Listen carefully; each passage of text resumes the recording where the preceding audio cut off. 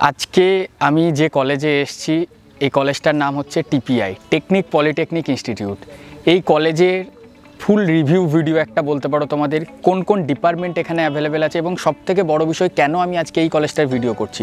West বেঙ্গলের মধ্যে কারিগরি ভবনের অন্তর্গত রান করা অনেক কলেজ আছে, কিন্তু শুধুমাত্র এই একটা একমাত্র কলেজ টেকনিক পলিটেকনিক ইনস্টিটিউট যেখানে তোমাদের এনবিএ দ্বারা স্বীকৃতপ্রাপ্ত কোর্স অ্যাভেলেবেল আছে। এনবিএ দ্বারা স্বীকৃতপ্রাপ্ত কী কী কোর্স তোমরা এখানে পাবে, সমস্ত কিছুর বিষয়ে বলব, শুধু তোমরা আমার সাথে ভিডিওটা শেষ পর্যন্ত দেখো। এখানে কলেজের ক্যাম্পাস থেকে শুরু করে কোন কোন ডিপার্টমেন্ট আছে। টোটাল থ্রি ইয়ার্সের ডিপ্লোমা ইঞ্জিনিয়ারিং করার জন্য তোমাদেরকে কত টাকা খরচা হবে, সেখান থেকে শুরু করে ওয়ার্কশপ সব কিছু দেখাবো। আমরা এটা মেন গেট মেন গেট থেকে আমরা ক্যাম্পাসের মধ্যে ঢুকছি। এরপর যাই হোক, আমার সাথে তোমরা দেখতে থাকো। এখানে হোস্টেল ফেসিলিটিস থেকে শুরু করে তোমাদের যদি জেক্সপো বলো বা ভোকলেট বলো কত টাকা খরচা হতে পারে সব কিছু বলব। যাই হোক, তাহলে এরপর আমরা এখন ক্যাম্পাসের ভেতরের দিকে যাচ্ছি। আমার সাথে তোমরা এসো।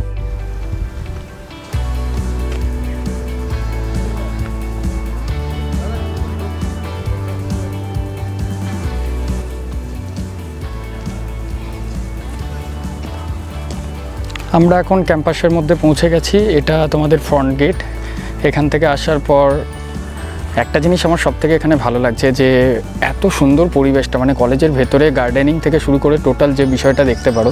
ফার্স্ট আমরা দেখলাম যে বোর্ডটা ওয়ার্কশপ বয়েজ হোস্টেল রাইট সাইডটাতে রয়েছে তারপর প্লেসমেন্ট সেল রয়েছে। এখন আমরা প্রায় মেন গেটের মেন বিল্ডিংয়ের সামনে এসেছি। দেন এদিকটা আমরা দেখে নেব মেন বিল্ডিং থেকে শুরু করে। ইনফ্রাস্ট্রাকচারটা যদি বলা যায় টু থাউজেন্ড এইটে এই কলেজটি প্রথম এস্টাবলিশ হয়।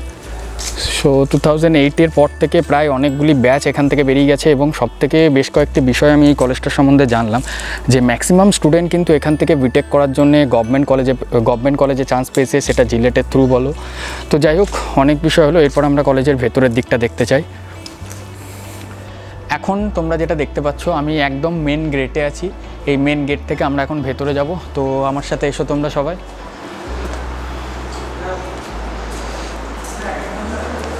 ফার্স্ট কলেজের মধ্যে ঢুকে আমার সব থেকে যে বিষয়টা ভালো লাগল, এখানে দেখো রাইট সাইডে তোমরা দেখতে পাবে।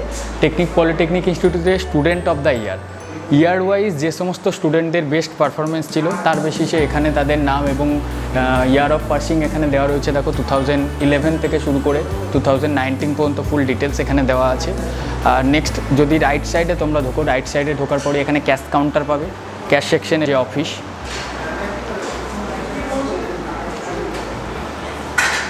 আর এখানে কিছুটা জায়গা আছে যেখানে স্টুডেন্টদেরকে এখানে বসার জন্য, কোনো কিছু কাজ করার জন্য সব কিছু তো এই রাইট সাইডে তোমরা যদি দেখো রাইট সাইডে মেন অফিস পড়ে যাচ্ছে অ্যাডমিশন থেকে শুরু করে সব কিছু কাজ তোমাদের এখানটাতে হয়ে থাকে। এবং চলো, এরপর আমরা ভেতরের ক্যাম্পাসটাকে দেখব। এখন আমি যে জায়গাটাতে প্রেজেন্ট রয়েছি, এটা বলতে পারো একদম কলেজ ক্যাম্পাসের মেন পজিশন মিডিল পোর্শনে আছি।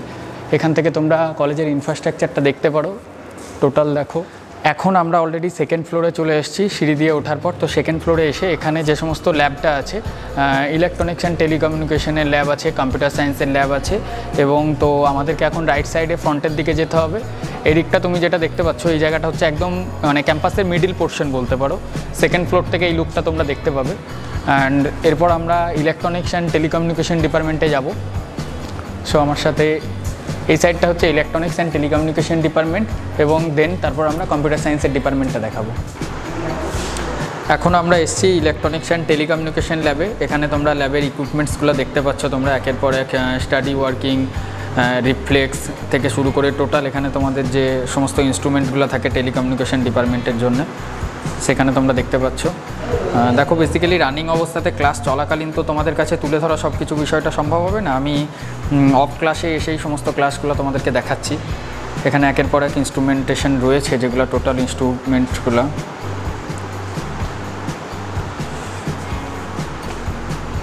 এটা একটা যতদূর সম্ভব রিসিভারের টোটাল বিষয়টা দেখানো হচ্ছে। দেন এখানে এটা একটা ল্যাব আরও একটা ল্যাব আছে আমি তোমাদেরকে সেটাও দেখাবো। এটা কমিউনিকেশন ল্যাব স্যাররা এসছেন ডিপার্টমেন্টের তো আমি নেক্সট যে ল্যাবটা আছে তোমাদের কম্পিউটার সায়েন্স ল্যাবের কিছু ফুটেজ তোমাদের সামনে তুলে ধরবো। এখন আমরা কম্পিউটার সায়েন্সের ল্যাবে এসেছি। কম্পিউটার সায়েন্সের ল্যাবে অলরেডি ক্লাস চলছে। আমি তোমাদের ল্যাবের ইনফ্রাস্ট্রাকচারটা তুলে ধরতে চাই। ম্যাম ক্লাস নিচ্ছেন আমি ম্যামের ডিস্টার্ব করতে চাই না। যাই হোক তোমাদের সামনে আমি কলেজের যে ইনফ্রাস্ট্রাকচার আছে দেখো ল্যাঙ্গুয়েজ ল্যাবে কম্পিউটার সায়েন্সের জন্যে তো Clear to everyone?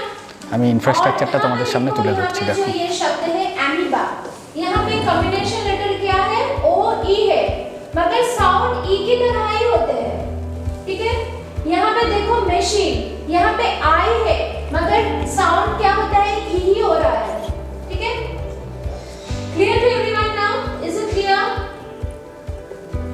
now next one number 2 you Next আমরা অন্য আরেকটা ল্যাবের বিষয়ে তোমাদের কাছে তুলে ধরবো।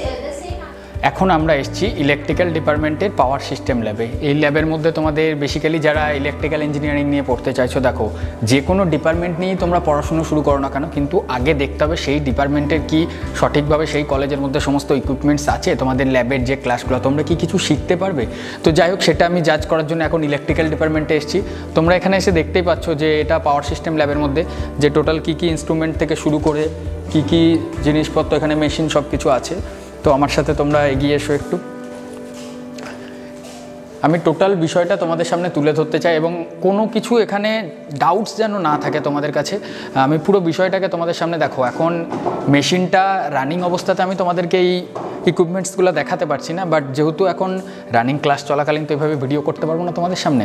দেখো, তোমাদের টোটাল বিষয়টা এখানে যারা ইলেকট্রিক্যাল ইঞ্জিনিয়ারিং নিয়ে পড়তে চাইছো আর এখানে ইলেকট্রিক্যাল ইঞ্জিনিয়ারিং ডিপার্টমেন্টটাও কিন্তু এনবিএ দ্বারা স্বীকৃতপ্রাপ্ত ইলেকট্রিক্যাল কম্পিউটার সায়েন্স মেকানিক্যাল আর তোমাদের সিভিল ডিপার্টমেন্ট এখানে এবং ইলেকট্রনিক্স অ্যান্ড টেলিকমিউনিকেশন এই প্রত্যেকটা ডিপার্টমেন্টই এখানে এনবিএ দ্বারা স্বীকৃতপ্রাপ্ত শুধুমাত্র সার্ভে ডিপার্টমেন্টটা সম্ভবত এনবিএ দ্বারা স্বীকৃতপ্রাপ্ত নেই। আর একটা নতুন ডিপার্টমেন্টের কথা তোমাদের কাছে আমি তুলে ধরতে চাই, সেটা হচ্ছে দেখো, যারা কম্পিউটার সায়েন্স নিয়ে পড়াশোনা করতে চাইছো, তো কম্পিউটার সায়েন্সের জন্য যদিও অলরেডি এই ডিপার্টমেন্টটা এখনও পর্যন্ত চালু হয়নি প্রপোজড বলতে পারো সাইবার সিকিউরিটির ওপর একটা নতুন ডিপার্টমেন্ট এখানে চালু হতে চলেছে। যাদের কম্পিউটার সায়েন্সের প্রচুর ইন্টারেস্ট তাদের জন্য তো যাই হোক, ওটার বিষয়ে আমি একটা ডেডিকেটেড ভিডিও তোমাদেরকে বানাবো। এখন আমি ইলেকট্রিক্যালের যে ল্যাবটা এখানে দেখো টোটাল তোমাদের সামনে তুলে ধরতে চাইছি। ইলেকট্রিক্যাল ইঞ্জিনিয়ারিং নিয়ে যারা পড়াশোনা করতে চাইছো, তাদের কাছে এই বিষয়গুলো প্রত্যেকটা ক্লিয়ার হওয়া খুবই প্রয়োজন।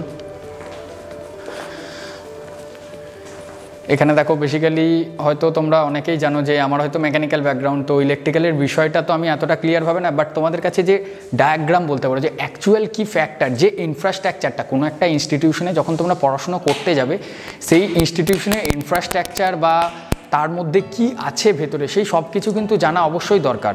কারণ হঠাৎ করে না জেনে শুনে যদি তোমরা অ্যাডমিশন নিয়ে নাও, দেখা গেল সেখানে ল্যাবের ক্লাসই ঠিক মতো হয় না।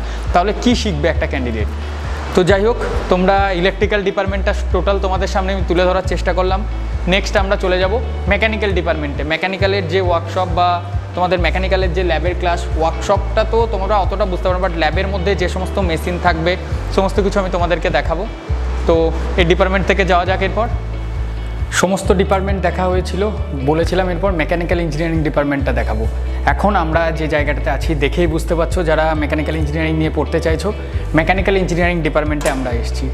লেদ মেশিন থেকে শুরু করে এখানে কি কি মেশিন তোমরা পাবে? কারণ দেখো ওয়ার্কশপটা খুবই কিন্তু গুরুত্বপূর্ণ। একটা মানে যে কোনো অর্গানাইজেশন বা যখনই তোমরা কোনো জায়গাতে কাজের জন্য যাবে, যদি তোমাদের প্র্যাকটিক্যাল সেই মেশিন সম্বন্ধে বা কোনো নলেজ না থাকে, তাহলে কিন্তু একদম মেকানিক্যাল ইঞ্জিনিয়ারদের জব পাওয়া খুব কঠিন হয়ে যাবে। তো এখানে দেখো তোমরা দেখতে পাচ্ছ, এখানে লেদ মেশিন রয়েছে রাইট সাইডে এখানে একটা স্লটিং মেশিন তো এটা হচ্ছে তোমাদের যে মেকানিক্যাল ইঞ্জিনিয়ারিংয়ের যারা স্লটিং করা হয়, এখানে স্লটিং মেশিন তারপর এটা তোমাদের ড্রিল মেশিন একটা। তো ড্রিলের মধ্যে অনেক ধরনের পার্ট থাকে। তো তার মধ্যে এটা একটা ড্রিল মেশিন হচ্ছে, এটা হচ্ছে রেডাইল ড্রিল মেশিনটা আর দেন তারপর এখানে তোমাদের এখানে ক্যাপস্টন লেদ এই লেদটা সাধারণত সচলাচল হয়তো তোমরা অতটা দেখতে পাও না। সাধারণ ওই লেদ মেশিনটাই ওইটা হয়তো দেখে থাকো বাট এটা তোমাদের এই মেশিনটাও এখানে তোমরা পাবে। তো নেক্সট ভেতরেও আরেকটা এখানে ওয়ার্কশপ আছে ওয়ার্কশপের ভেতরে এটা সেকেন্ড ফ্লোরে যাব। ক্যামের কিছু পার্ট এখানে দেখো কিছু জব ক্যান্ডিডেটরা অলরেডি করেছে। এখানে কিন্তু অলরেডি সেই জবগুলোকে রাখা হয়েছে। এখানে যে সমস্ত টার্নিং থেকে শুরু করে ট্যাপার টার্নিং সব কিছু তারপর নার্লিং থ্রেডিং অপারেশন এখানে দেখো করা হয়েছে থ্রেড এগুলা এখানে যারা স্টুডেন্ট ছিল, তাদের তাদেরই হাতের নিজেদের কাজ এবং তাদেরকে বোঝাবার জন্য অনেক সময় এগুলা সমস্ত রাখা হয়েছে। স্যাম্পেল পিস বলতে পারো যে জবগুলো তারা কমপ্লিট করেছে। তো নেক্সট আমরা ভেতরের যে ল্যাবটা আছে, এই ল্যাবটাতে একটু দেখব। নেক্সট দেখো, ভেতরের যে ওয়ার্কশপটা ছিল, এখানে তোমাদের শেপিং মেশিন থেকে শুরু করে এটা তোমাদের শেপিং মেশিন পড়ছে। শেপিং তারপর এখানে তোমাদের হরাইজেন্টাল একটা মিলিং মেশিন আছে হরাইজেন্টাল মিলিং মেশিন এদিকে যেটা দেখতে পাচ্ছ, যখন যে জবগুলো বেসিক্যালি রেলের যখন অনেক বড় বা যেটা ভালভের কম্পোনেন্ট তৈরি হয় ভালভ ইন্ডাস্ট্রিতে এবং রেলের ক্ষেত্রে প্রচুর বড় বড় জব যখন তৈরি হয়, তখন এক্ষেত্রে এই যে মিলিং মেশিনটা এই মিলিং মেশিনের ব্যবহার করা হয়। মানে মেশিনটার আকার দেখেই বুঝতে পারছ যে জবটাকে এখানে যখন এই যে বাইসের মধ্যে টেবিলের মধ্যে যখন হোল্ড করতে হবে, কতটা বড় জব হতে হবে। তারপর মানে ছোট যখন হয়, সেক্ষেত্রে এটা নর্মাল যে সমস্ত ছোট মেশিন আগের যে মেশিনটা দেখলাম, সেখানে হয়ে থাকে। নেক্সট এখান থেকে আরেকটা রয়েছে আমাদের স রয়েছে কাটিং মেশিনের দিক দিয়ে। মেটাল কাটিং কোনো তো এই মেশিনটা হচ্ছে তোমাদের একটা কাটিং মেশিন বলতে পারো। এটাতে কোনো বারকে যখন লোহার বার বা পাইপকে কাটতে হয়, তখন এই মেশিনটার সাহায্য নেওয়া হয়। এটা অটোমেটিক্যালি জাস্ট জবটাকে ভাইসের মধ্যে হোল্ড করতে হয়। তারপর এখান থেকে এটা অটোমেটিক্যালি চলতে থাকে মোটরের থ্রু এটাকে চলে। আর এদিকে লাস্ট আর একটা এখানে দেখো, এটা কিন্তু একটা গুরুত্বপূর্ণ বিষয়। এটা হচ্ছে গ্র্যান্ডিং গ্র্যান্ডিংটা কি টুল ওয়্যার হয়ে গেলে যখন তোমাদের সেই টুলটাকে ধার করতে হয়, বলতে পারো লেদ মেশিনের মিলিংয়ের টুল বলো সব কিছু এখানে কিন্তু এটা গ্র্যান্ডিং মেশিন তো এ টু জেড প্রত্যেকটা বিষয় হ্যাঁ আর মেকানিক্যাল ইঞ্জিনিয়ার হিসেবে কিন্তু গ্র্যান্ডিং করতে গিয়ে অনেক সময় ওয়ার্কশপে অনেক ইয়ে হতো বাট গ্র্যান্ডিং কিন্তু তোমরা এই জিনিসটা কাজটা কমসে কম শিখবে যখনই কোনো কলেজে পড়বে ওয়ার্কশপের ক্ষেত্রে। লাস্ট এখানে তোমাদের প্রত্যেকটা এই ওয়ার্কশপটাও দেখালাম, এখানে মেশিন যে কয়েকটা গুরুত্বপূর্ণ মেশিন তোমাদের মেকানিক্যাল ইঞ্জিনিয়ারদের জন্য জানা, তার ওয়ার্কিং কন্ডিশন কি কাজ হয়। এই বিষয়টা কিন্তু জানতে হবে। কারণ দেখো মেকানিক্যালের প্রচুর থাকে। গিয়ার থ্রেড কাটিংটা কোন মেশিনের ক্ষেত্রে হবে? তারপর তোমাদের যে স্লট বলো বা কি লক যেটা হয়ে থাকে কোনো মানে কোনো তোমাদের নাট অ্যান্ড বোল্টের মধ্যে অনেক সময় যেটা বড় থাকে না clockwise anti clock wise thread যেটা থাকে, তার মধ্যে যে লকের সিস্টেম থাকে স্প্লিট পিন যেখানে ব্যবহার করা হয়, সেই স্লটটা বা কি, যেখানে আমরা অনেক সময় জায়গায় একটা কি লক করা হয়, সেটা কোন মেশিনে করতে হবে স্লটিং মেশিনে না মিলিং মেশিনে গিয়ারের থ্রেড কীভাবে কাটিং হয়, এই সব কিছু বিষয় কিন্তু তোমাদেরকে জানতে হবে। তার জন্যে এখানে যা যা মেশিন দেখলাম, আশা করছি যদি সঠিকভাবে এখানে কাজটা করতে পারো বা এখানে যদি ক্লাস তোমরা করো, একটা মেকানিক্যাল ইঞ্জিনিয়ারের যা যা জানার দরকার সব কিছুই হয়তো তোমরা এখান থেকে এরপর জেনে যাবে। যাই হোক, কেমন লাগছে তোমাদের এই বিষয়টা বা এই কলেজের সম্বন্ধে জানতে, দেখো, আমি কিন্তু পার্টিকুলার যে এই কলেজটা কি তোমাদের কাছে ইয়ে করছি তা না। তোমরা যে কোনো, সেটা সরকারি কলেজ হোক বা অন্য কলেজেও যখন অ্যাডমিশন নিতে যাবে, না? এই প্রত্যেকটা বিষয় দেখে নেবে যে আদেও আছে কি না।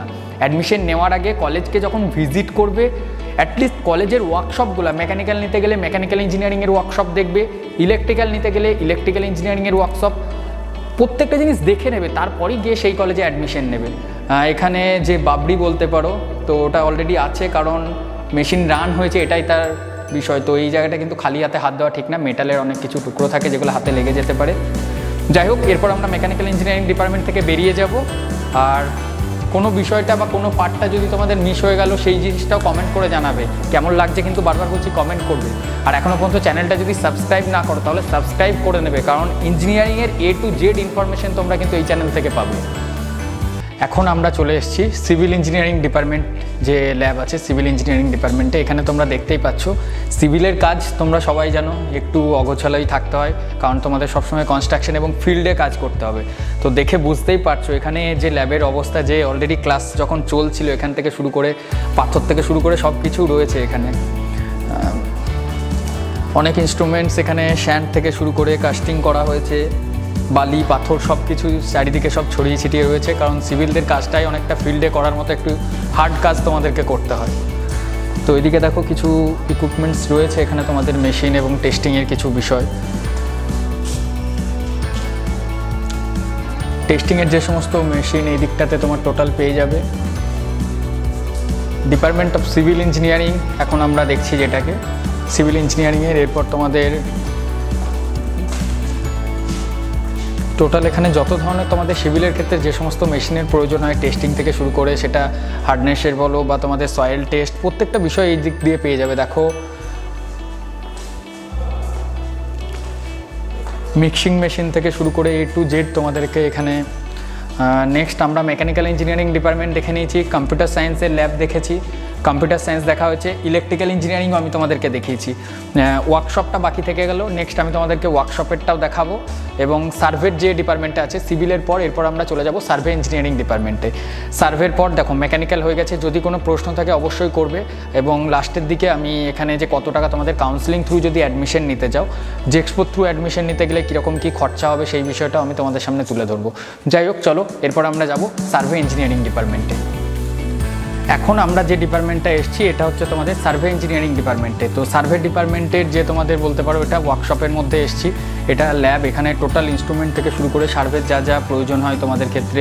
সমস্ত টিডিএস তারপর তোমাদের যে সমস্ত, দেখো সার্ভের যা যা লাগে, তোমরা যারা পড়বে সিভিল বা সার্ভে তারা হয়তো অনেকটাই ভালোভাবে চেন চেন সার্ভে করার জন্য তোমাদের যেগুলো থাকে। তো এখানে টোটাল এক থেকে এক ইনস্ট্রুমেন্ট সব কিছু তোমাদের এখানে পেয়ে যাবে। সমস্ত ইনস্ট্রুমেন্ট এখানে তোমরা দেখতে পাচ্ছ, এটা বেসিক্যালি সার্ভের জন্য। আর সিভিলেরও কিছু কিছু জিনিসপত্র এখানে থাকে। এবং আরও ডিপার্টমেন্ট যেটা, তো বুঝতেই পারছ যে কলেজের টোটাল ক্যাম্পাসটা আমি তোমাদেরকে দেখালাম। যারা অলরেডি পুরনো স্টুডেন্ট আছো, তারাও অনেকদিন পর হয়তো এই ক্যাম্পাসটাকে দেখতে পাচ্ছ, কেমন লাগছে সেটাও জানাবে।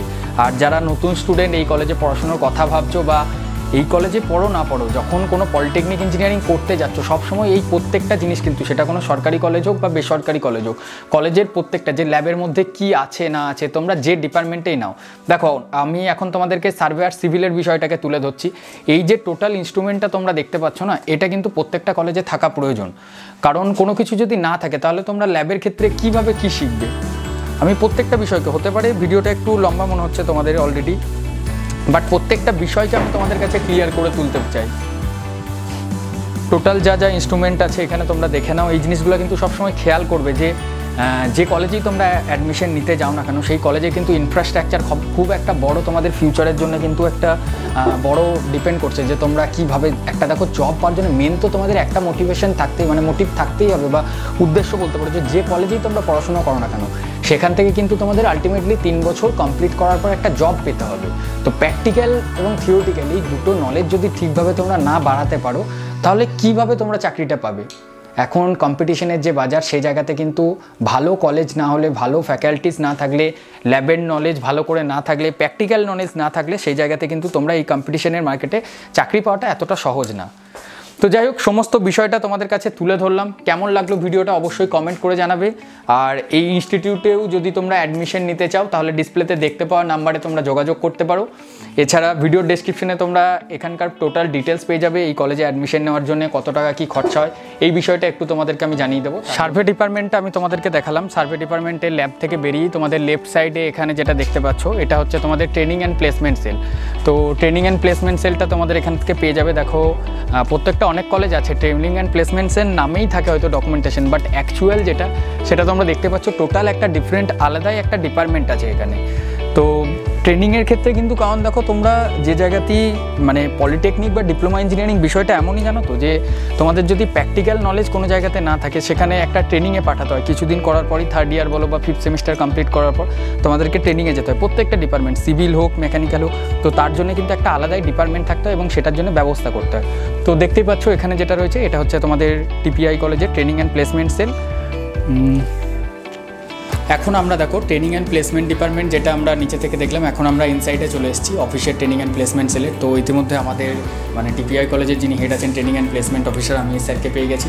স্যার, তোমাদের এই যে আমি যে বিষয়টা বললাম যে একটা ট্রেনিং অ্যান্ড প্লেসমেন্ট ডিপার্টমেন্টটা কেন এতটা ইম্পর্টেন্ট সেই বিষয়টা স্যারের মুখ থেকেই শুনে নেব। কারণ স্যার ইতিমধ্যে মানে এই যে অর্গানাইজেশন বলতে পারো এবং অর্গানাইজেশনের সাথে সাথে এই যে ডিপার্টমেন্ট এই ডিপার্টমেন্টের সাথে বহু বছর ধরে যুক্ত। তো স্যারের এক্সপিরিয়েন্স তোমাদের সমস্ত স্টুডেন্টদের কাছে একটু স্যার শেয়ার করবেন। স্যার মানে একটা পলিটেকনিক কলেজ বা বেসিক্যালি ইঞ্জিনিয়ারিং ডিপার্টমেন্টে মানে ইঞ্জিনিয়ারিং কলেজ যদি বলেন, তাহলে একটা প্লেসমেন্ট ডিপার্টমেন্টের প্রয়োজনীয়তাটা কী? অনেক সময় আমরা দেখেছি কলেজে থাকে, নাম নাম আছে বাট সেখানে কিন্তু অ্যাকচুয়াল যে বিষয়টা হওয়ার সেটা হয় না। তো আপনার কি মনে হয়? মানে কতটা প্রয়োজন ছাত্রদের কাছে একটা ট্রেনিং অ্যান্ড প্লেসমেন্ট ডিপার্টমেন্টটা এক্স্যাক্টলি এটা হচ্ছে এটা খুবই একটি গুরুত্বপূর্ণ ডিপার্টমেন্ট কারণ এটা হচ্ছে, আমরা যেটা একটা একটা, যেটা একটা গ্যাপ থাকে ইন্ডাস্ট্রির সঙ্গে ইনস্টিটিউটের তো সেই গ্যাপটা আমরা ফিল আপ করছি। অর্থাৎ আমাদের ধরুন একটা ছেলে যখন ফাইনালি উঠল, তখন সে চাকরি করতে কোথায়, চাকরি খুঁজতে সে কোথায় যাবে?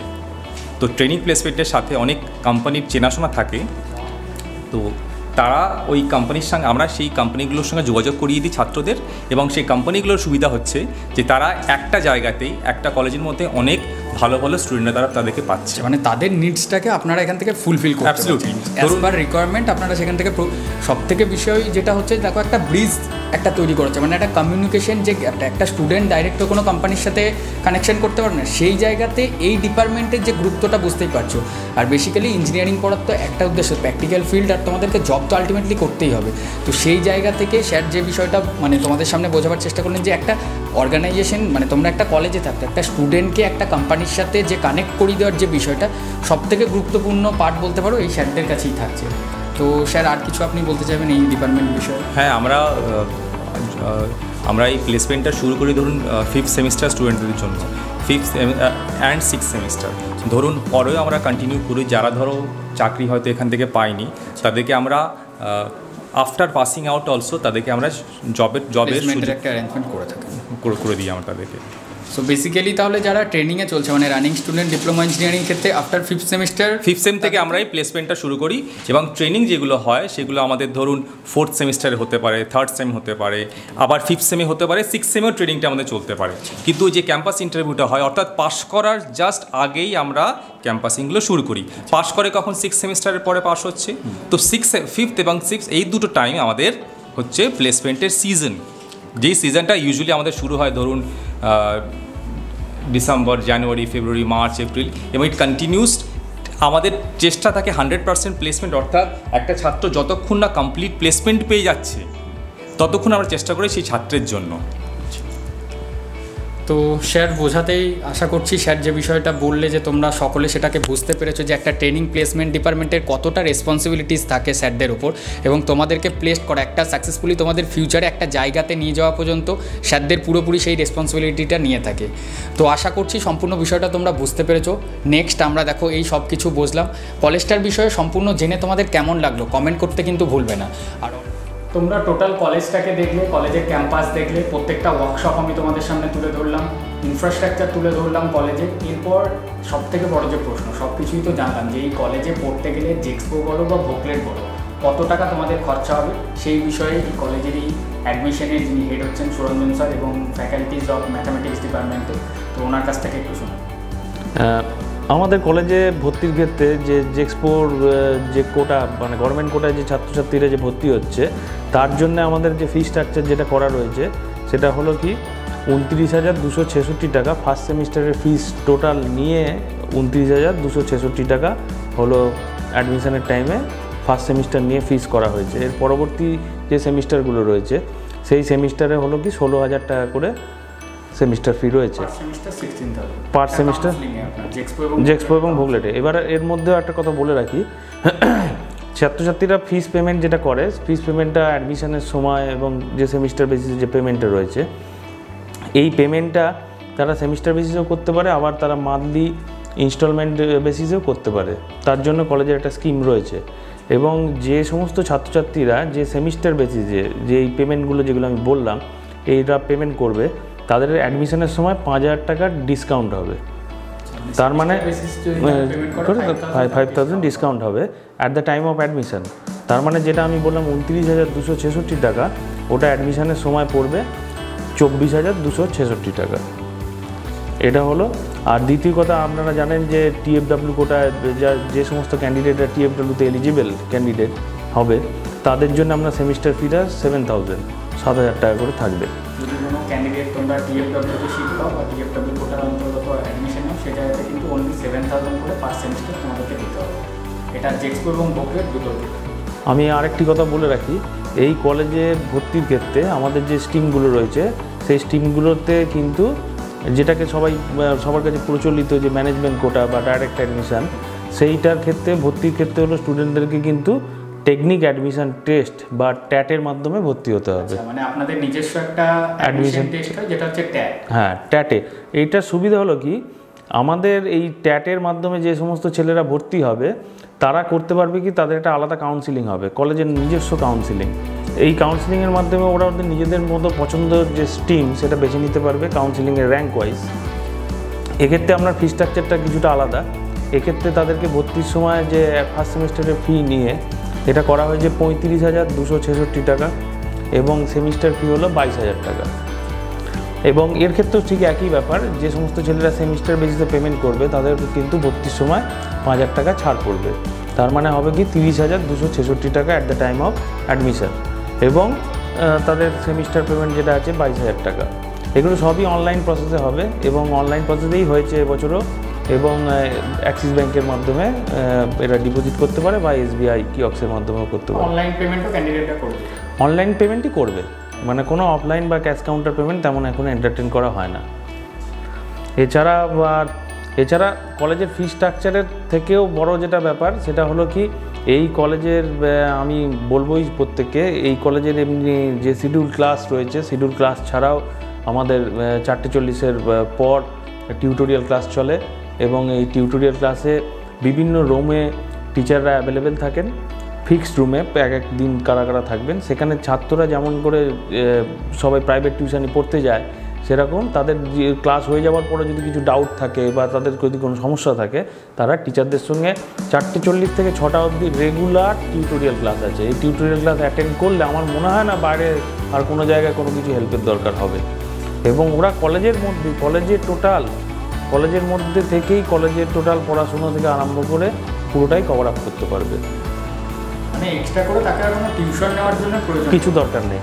এই ছেলে ছাত্ররা কলেজে ভর্তি হওয়ার পর তাদের পড়াশুনোর ক্ষেত্রে আমাদের কলেজ পশ্চিমবঙ্গে আমরা জানেন যে পশ্চিমবঙ্গে একমাত্র ইন্ডিয়া ক্রিকেট পলিটেকনিক টিপিআই আমাদের চেষ্টা একটাই যে এখানে যে সমস্ত ছেলেরা ভর্তি হচ্ছে তাদের প্রিভিয়াসলি তারা র্যাঙ্ক অনেক ক্ষেত্রে বেশি আছে। আবার অনেকের ক্ষেত্রে আগে তার প্রিলিমিনারি ক্ষেত্রে কিছু জায়গায় কিছু সমস্যা ম্যাথামেটিক্স বা এই পোর্শনগুলোতে থাকতে পারে। তো এই ছেলেদেরকে ছাত্র এবং ছাত্রী এদের, এরা যাতে খুব ভালো র্যাঙ্ক করে এবং ভালো রেজাল্ট করে, এটাই টার্গেট টিপিআইয়ের মেন ডিপেন্ড করে রয়েছে ছাত্রছাত্রীদের রেজাল্টের ওপর তো এই রেজাল্টটা ভালো করার জন্য তাদেরকে যত রকমভাবে ব্যাকআপ দেওয়া যেতে পারে সেইটাই ব্যবস্থা করার ফলে এবং আমরা দেখেছি এবং তার জন্যেই এই ছাত্রছাত্রীরাই আমাদের কাউন্সিলে র্যাঙ্ক করছে এবং ভালো রেজাল্ট করছে। তো সম্পূর্ণ বিষয়টা তোমরা বুঝতে পারলে। এরপর যারা ইন্টারেস্টেড আছো আরও ডিটেলসে কোনো কিছু জানার, অবশ্যই ক্যাম্পাসে ভিজিট করতে পারো। আর কেমন লাগল এই কলেজটার সম্বন্ধে তোমাদের জেনে, অবশ্যই সেটা কমেন্ট করে জানাবে। যারা অলরেডি পাস আউট স্টুডেন্ট আছো বহুদিন পর কলেজ সম্পূর্ণ কলেজের ডিপার্টমেন্ট থেকে শুরু করে পুরো ক্যাম্পাসটাকে তো আমি আজকে এই ভিডিওটাতে দেখালাম। তোমাদেরও কেমন লাগল কিন্তু জানাতে বলবে না। চলো তাহলে আজকে এখানে এই ভিডিওটা শেষ করলাম